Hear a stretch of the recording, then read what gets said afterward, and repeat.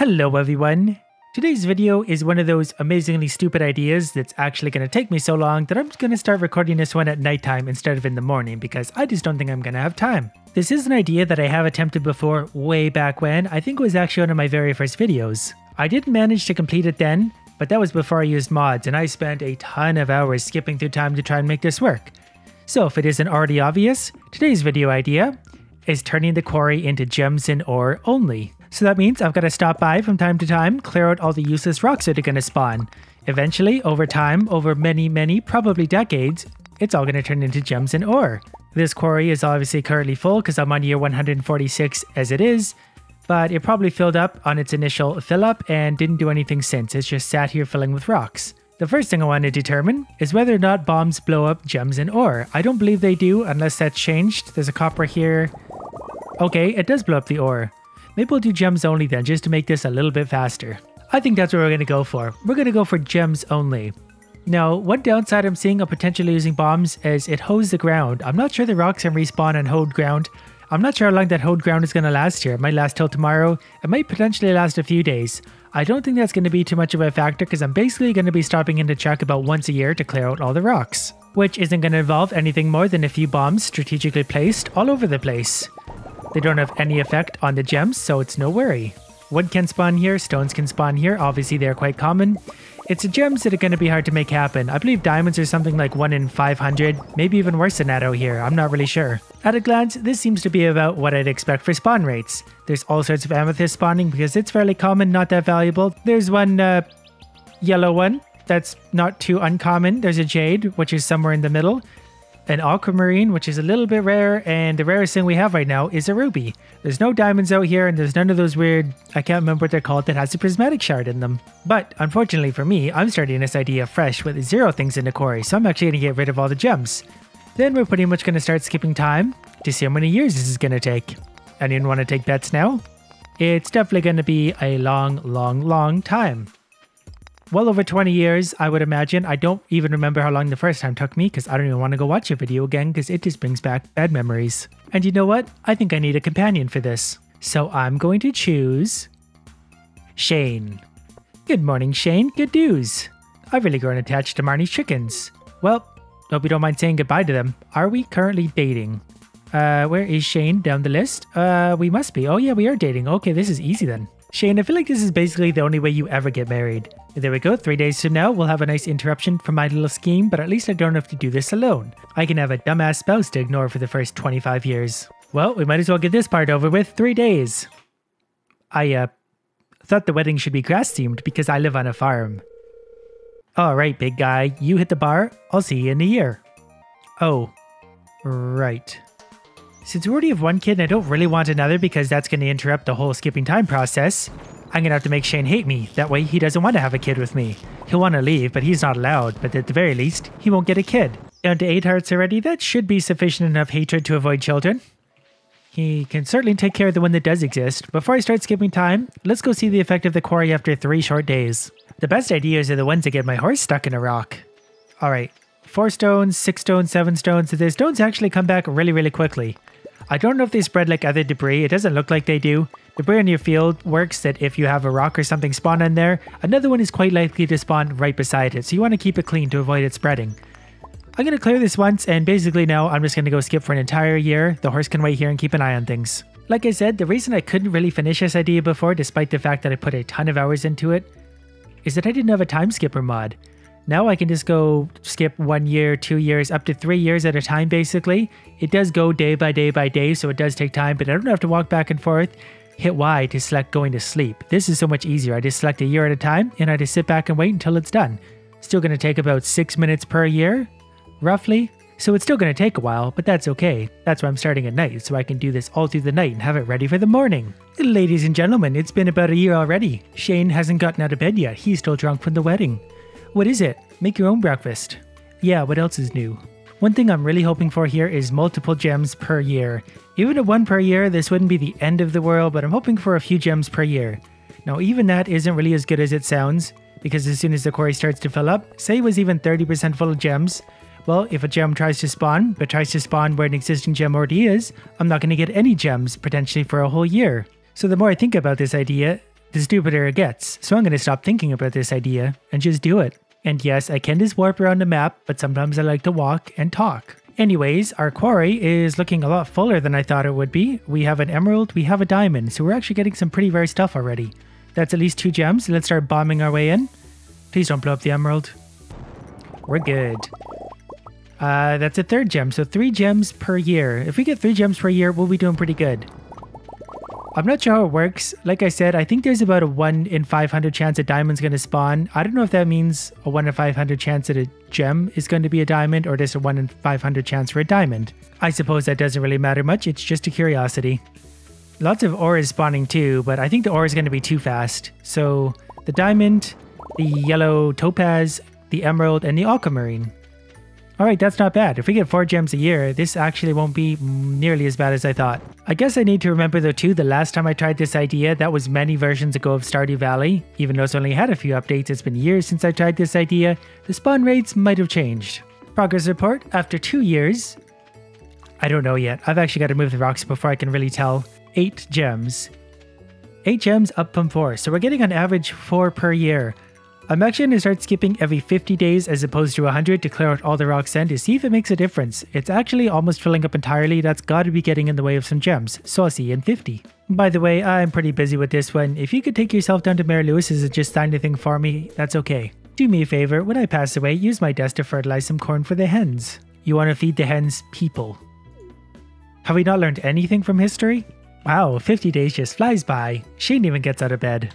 How many rocks spawn after 50 days? There's just no way to make that sound exciting.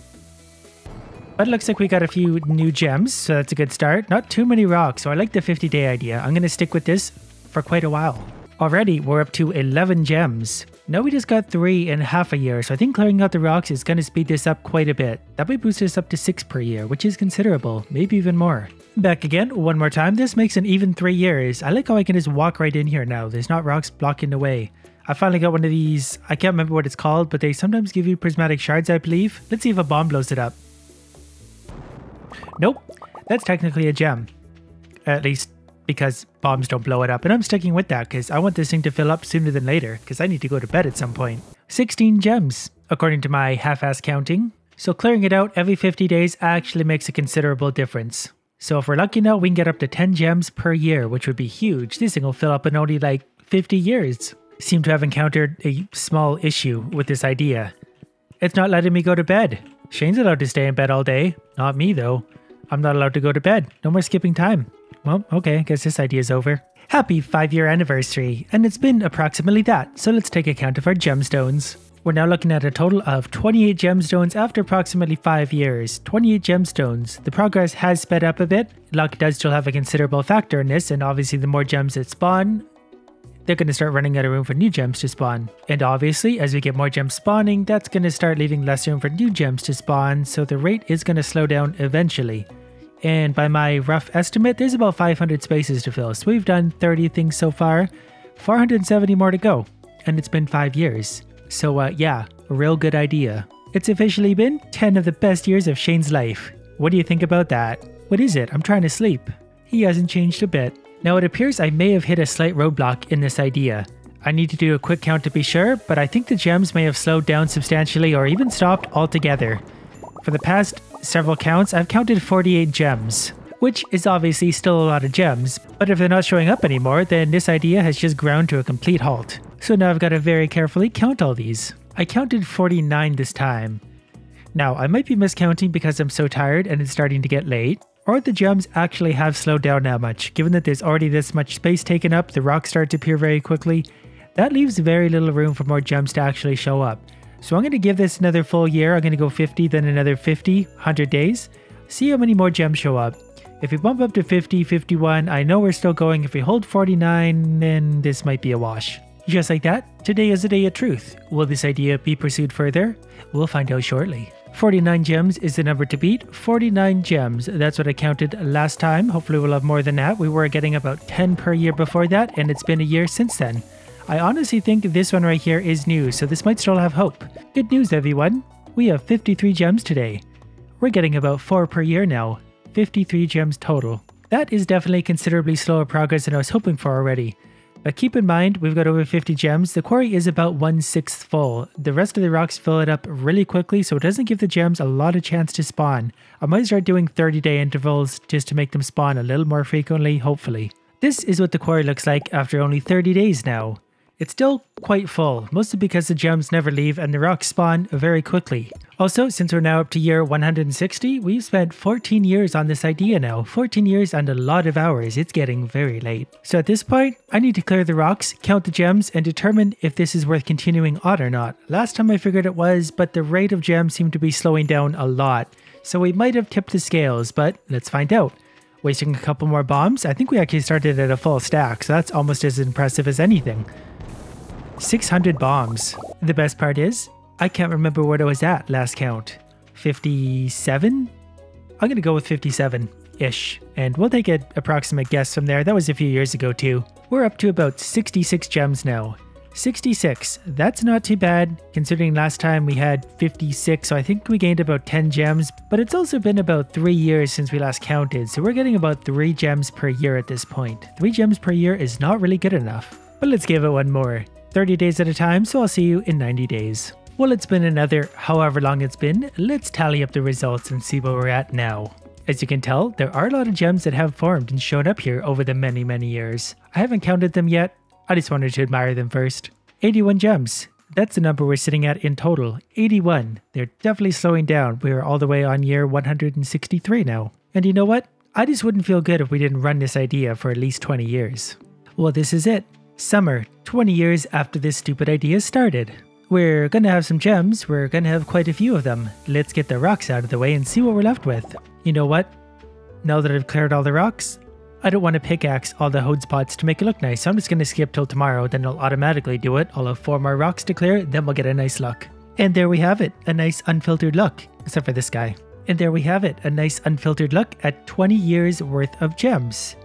Probably could have got a little more had I been clearing it out more frequently, started at 50 day intervals, moved it up to 30. It still worked out pretty good, was getting lots of gems, it's just naturally going to slow down. 94. Approximately. That's about as good as my tired brain can calculate right now, because it's getting very late and I still have to edit this thing. About 94 gems, it's really a shame I didn't hit 100. But that means the quarry is almost a third full. Almost a third full. But the gem production is just slowing down that badly. Over the past several years, I've only gotten a few gems, and that rate is only going to get slower and slower because a lot of the space is already occupied by other gems. So 20 years of this idea is more than enough for me. So there's only one thing left to do, is find out what 20 years of gems is worth. Now, I could have pushed this further to try and fill the entire thing still, but it took me 20 years to get not even a third of the way full, so 60 years would have been closer, but even then the rate is slowing down, like I said, because the space is already occupied. So it's getting harder and harder to get gems. So it would have taken well over 60 years to accomplish this. By my rough guesstimate, 100 years really wouldn't surprise me. 100 straight years of skipping time, I could do it. I just don't want to. I need this video out at some point. I can't work on it for the next three days straight. But hey, it was fun while it lasted. We got to marry Shane, so that's always a good thing. Now, if you want to see what we happen to get out of all those gem nodes, we even have a prismatic shard. That's a really rare find.